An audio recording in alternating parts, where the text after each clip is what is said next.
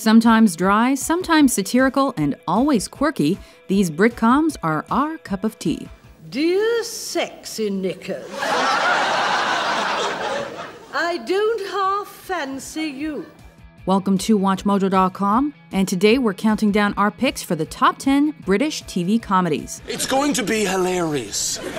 Sometimes I could kiss your mind, Roy. Number 10, The IT Crowd. Hello, IT. Have you tried turning it off and on again? Created and written by Irish writer Graham Linehan, who had previously co created Father Ted and Black Books, the IT crowd proved there was still life in the traditional multicam sitcom format. This, Jen, is the internet. Rife with pop cultural references and news items, the show follows two endlessly goofy yet strangely believable nerds in their attempts to interact with, help, and avoid the rest of the world. It's almost as if she doesn't know anything about computers. What? What you did? Oh, don't worry, that's why I always make two cups of tea. Number 9, Father Ted. Have you been reading those Roddy Doyle books again, Dougal? I have, yeah, Ted, you big gobshite. Set on a fictional Irish island, this series is packed to the gills with lovable, cartoony oddballs who could never make it on the mainland. I'm fine for cake, Mrs. Doyle. Are you sure, Father? There's cocaine in it. This includes the titular Ted, his dim witted sidekick Father Dougal McGuire, and the perpetually drunken Father Jack. Given to moments of outright surrealism and pure silliness, the show initially set out to be a parody of sitcoms, but eventually it became the gold standard of the form. Number 8, Mr. Bean.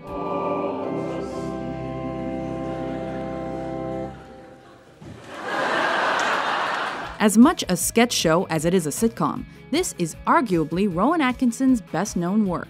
Internationally popular due to its limited dialogue, Mr. Bean copes with minor setbacks in everyday life through unnecessarily difficult and sometimes plain mean spirited methods. Although the later animated series implied that Bean is an alien, we prefer to see him as just a weird, weird, weird little man.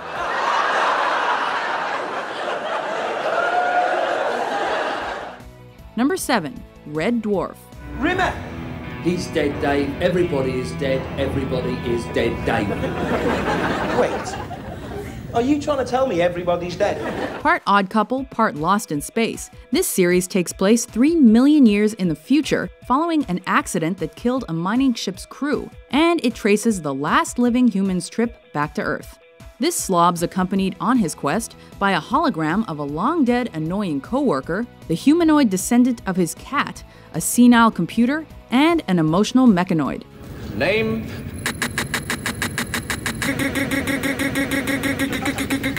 I'll just put Kryten. Being a dwarfer means experiencing zany sci fi situations and laughs from even the simplest of exchanges. Chicken soup.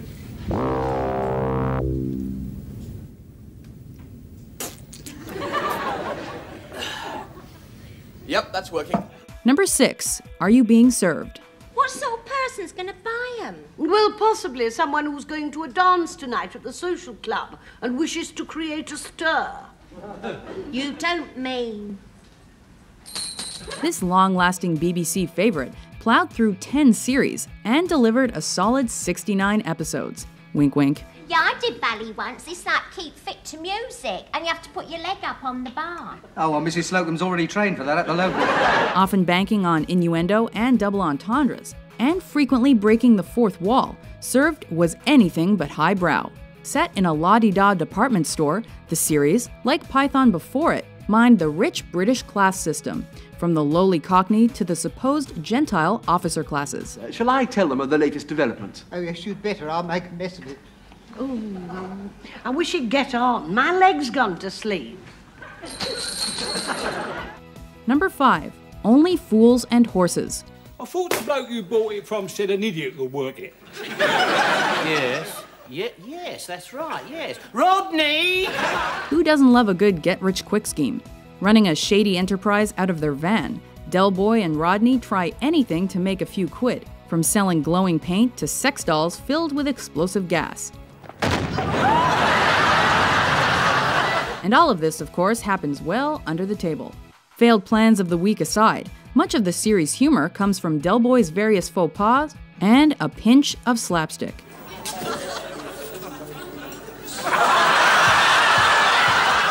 Number 4. The Office. Oh, he's Elaine. She left you yet? Yeah. All right, see you then. She has left him. I forgot about that. There are game changers and there are game changers, and this, friends, is the latter. The staff, letting them know that they are our most important commodity. And if they've got a problem, it's my problem. Uh, Adopting a mockumentary style approach, Ricky Gervais and crew ushered out the laugh track and ushered in a new era of sitcom making, influencing American shows like Modern Family and Parks and Recreation. A critical hit in its own right, The Office UK also spawned international remakes, including but not limited to the Steve Carell led US version. Put my stapler inside a jelly again. That's the third time he's done it. It wasn't even funny the first time. Why has he done that? Just told him once that I don't like jelly. Don't trust the way it moves. Number 3. Blackadder. Oh, very good shot, my lord. Thank you, Warren.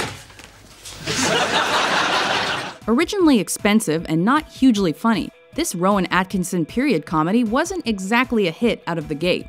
All that changed with the second series, Blackadder 2, which included a shift in characterization, a switch in time period, and a switch in writers in the form of Ben Elton. Come on, Edmund. You must be able to think of another best man. Well, I suppose I could ask Percy. Percy! My lord! Can you think of another best man? The show also benefited majorly from the come and go editions of Stephen Fry and Hugh Laurie. It's like that story, uh, The Prince and the Paupers. And the Pauper. Oh, yes, yes, yes. Prince and the Paupers and the Pauper. Massive change, it seems, is a very good thing. You'll recognise me. I'm the one that says, ready, aim, fire. Can I ask you to leave a pause between the word aim and the word fire? 30 or 40 years, perhaps. Number 2. Fawlty Towers. I hate to trespass further on your valuable time, but might I look at the wine list? Now? Yes, please.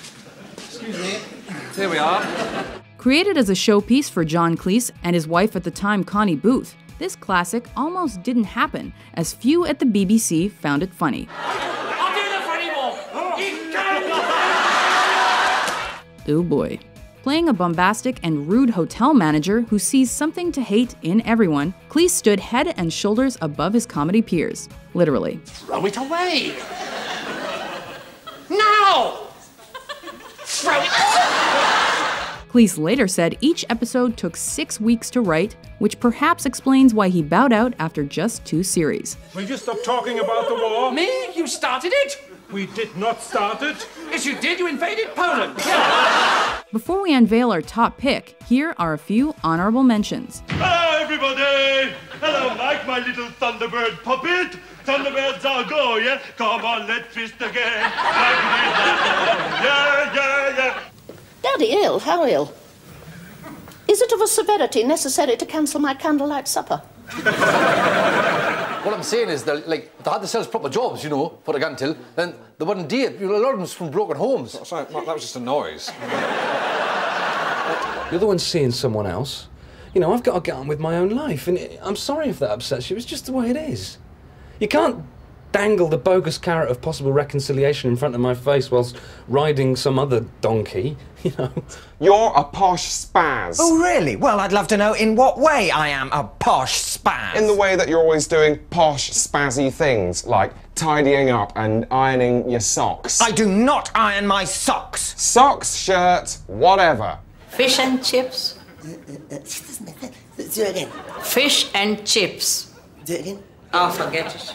Must be some sort of dish that we don't get over here. Okay. Don't go down there. There are snipers down there.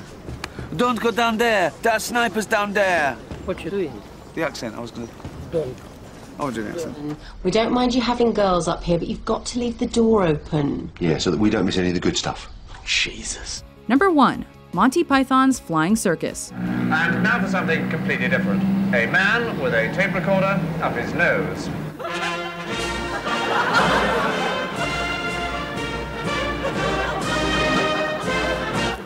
Taking our top spot and proving you should always expect the Spanish Inquisition is the sketch show that changed it all. Nobody expects the Spanish Inquisition! Our chief weapon is surprise. Surprise and fear. Fear and surprise. Our two weapons are fear and surprise. The Python sketch troupe featured a highly educated cast of veteran comedy writers and performers. Is your wife uh, a goer, hey? Know what I mean? Know what I mean? Nudge, nudge, nudge, nudge. And whether they were avoiding standard sketch trappings like punchlines and endings, or pushing them to the absurdist limits, the Pythons broke every rule they knew. And they knew a lot of rules. Hello, Polly! Polly! Polly Parrot, wake up! Polly! Do you agree with our list? What? What's your favorite British comedy? Oh! Really great! Woodstock! For more brilliant top 10s published daily, be sure to subscribe to WatchMojo.com. Yes, nudge, nudge, snap, snap, grin, grin, wink, wink, say no more.